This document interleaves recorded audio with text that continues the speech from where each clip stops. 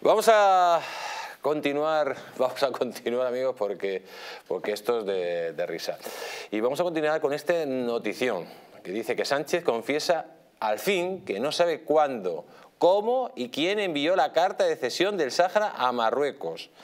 Pedro Sánchez no envió ninguna carta al rey de Marruecos para cambiar medio siglo de supervisión de España sobre el Sáhara y cederle a Rabat el control de la antigua colonia española a Mohamed VI.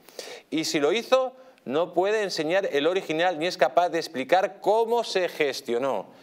La que se conoció, difundida extrañamente primero desde el país vecino y luego en una versión mal traducida al español en el diario El País, pudo elaborarse incluso en Rabat, según apunta la nueva documentación oficial que ha desvelado el debate.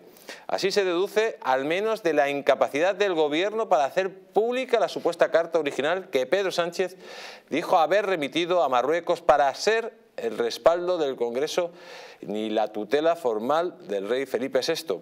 Eh, renunciar a la cosoberanía del Sáhara y darle barra libre a Mohamed VI para cumplir su sueño de adueñarse de facto de una región que nunca fue marroquí y lleva 50 años intentando poder decidir sobre su futuro con el respaldo de la ONU.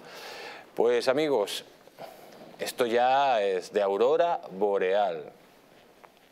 Esto no es una traición, es lo siguiente. Ni siquiera sabemos si hubo carta, porque la carta de Sánchez no la escribió Sánchez y la que se la dio los medios de comunicación es una carta escrita por Marruecos, que Sánchez dijo que era suya. Ojo, y que el país la publicó como una exclusiva. Tenemos al otro lado de Sky a don Víctor Sánchez de Real. Don Víctor, ¿cómo está usted? Buenas noches. ¿Qué tal? Muy buenas noches. Si se puede decir en una noche tan sanchista, ¿verdad? Exactamente. La verdad que le tenemos por todos los lados. Y siempre, y lo malo de todo es que fíjense usted que Sánchez sale en todos los lados, eh, habla y habla y habla, pero nunca da una buena noticia. Porque el día que dé una buena noticia, pues lo diremos aquí, siempre son malas noticias. Y esto es, no es una mala noticia, sino es una traición en toda la regla si el señor Sánchez no es capaz de explicar cuál es la carta, que enseñe la carta, porque al parecer la carta se la escribe directamente Marruecos. Correcto. A ver, eh, la carta de marzo eh, ya de hace del 2022, hace ya más de un año, eh, era una carta sospechosa en todo. Es una carta sospechosa en su propia aparición, filtrada a través del medio del país, en sus propios autor y receptor, porque es absolutamente atípico que un presidente del gobierno que no jefe de Estado se dirija a un jefe de Estado en una cuestión tan relevante, tan importante como es eh, pues un, movimiento eh, diplomático de primer, de primer nivel.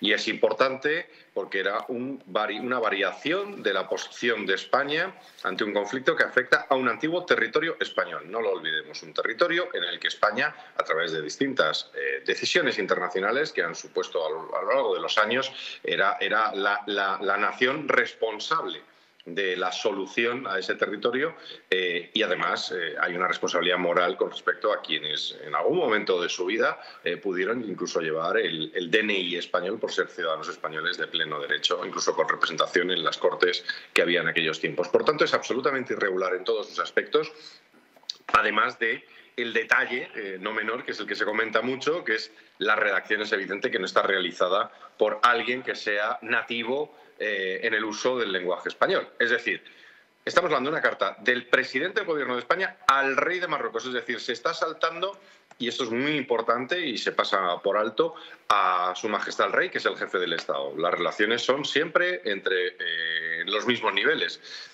todo, además, y por último, y perdón, pero es que son capa tras capa tras capa de esta cebolla de falta de respeto de Pedro Sánchez, pero me gustaría analizarlas y algunos seguramente se me escape de la memoria, pero además, y la más importante es que encima esta posición jamás pasó por el Parlamento y en las en todas las solicitudes de comparecencia, tanto del presidente del Gobierno como del ministro de Asuntos Exteriores, en las que yo he podido participar, negaron que esto fuera un cambio de eh, posición, cuando es un hecho evidente, y además jamás han sido capaces de dar explicaciones, y esto es lo más grave, a, toda esta capa de elementos fácticos, es decir, de cosas que le pasan a esa carta, detrás de todo esto está el que no sabemos el por qué.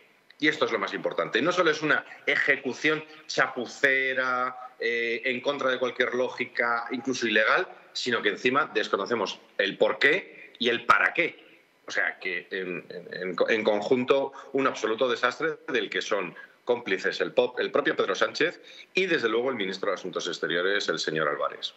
Eh, señor del Real, estamos, digamos, ante una traición, porque la cesión y sobre todo una traición al pueblo del Sáhara, porque nosotros eh, tenemos una orden de la ONU, que somos la potencia administradora hasta que haya un referéndum, estamos ante una traición ante el pueblo español porque no se sabe de dónde viene la orden, ni quién se la da, ni siquiera si hay carta o no hay carta, eh, porque esto parece directamente que le dicen a este señor, asume lo que te digan, calla la boca, porque si no puede que pasen cosas terribles contra tu persona o contra tu familia, o contra tu mujer que salgan en los medios de comunicación. Esto es casi como una extorsión en máximo grado y claro, cuando hay una extorsión siempre hay algo que uno tiene que callar. Sí, es como muy peliculero, ¿no? El secuestrador que le redacta la carta eh, que tiene que leer ante la Cámara al secuestrado, ¿no? Es, un poco este sistema, o sea, que eh, no sabemos por qué, no sabemos de qué forma, eh, pero Pedro Sánchez está secuestrado por Marruecos. ¿Por qué? Porque Pedro Sánchez está sometido a algún tipo de presión que desconocemos. Pedro Sánchez o el PSOE, no, no vamos a personalizar, que siempre pensamos en Sánchez, pero ¿qué tiene Marruecos sobre el PSOE o sobre Pedro Sánchez?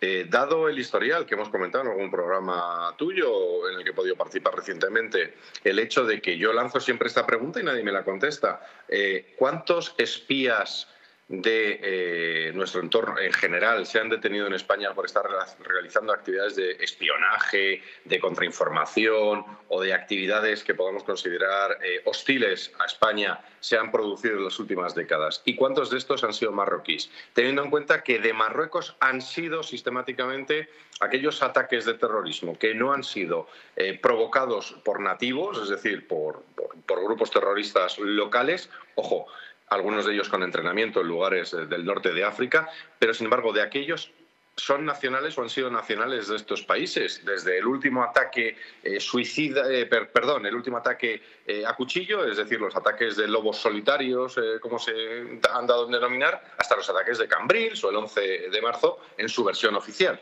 Con lo cual, por qué Marruecos eh, está siempre presente en nuestra política, ya no exterior, sino interior, y qué tiene Marruecos eh, sobre Pedro Sánchez, sobre el PSOE, que es tan importante que le lleva a cambiar y, como bien dices, a dejar tirados en la estacada a quienes... la verdad del 11M a lo mejor saben muchas verdades de otras cosas y además, además nos pueden contar verdades incómodas sobre la presencia de numerosos ministros, primeros ministros, es, decir, jefes de gobierno, es jefes de gobierno del Partido Socialista sistemáticamente en Marruecos con propiedades eh, de difícil explicación, eh, grandes eh, miembros del comité ejecutivo del PSOE con grandes propiedades en Marruecos. Alguien tiene que dar explicaciones de esto y como estamos hablando solamente de hipótesis, lo que sí sabemos los datos es a, se ha producido un cambio, B, ese cambio se ha producido de forma con una capa de chapuzas y de mentiras, y D, lo que podemos saber es que siempre está involucrado el PSOE y Marruecos, Marruecos y el PSOE, y nunca nunca a servir los intereses de España y nunca eh, siguiendo y persiguiendo la seguridad de los españoles de nuestro territorio y la, seguridad incluso física de los españoles. Todo esto en pleno periodo preelectoral. Pues don Víctor, muchísimas gracias por haber estado aquí en el Mundo al Rojo y como siempre reciba un fuerte abrazo. Un abrazo muy fuerte.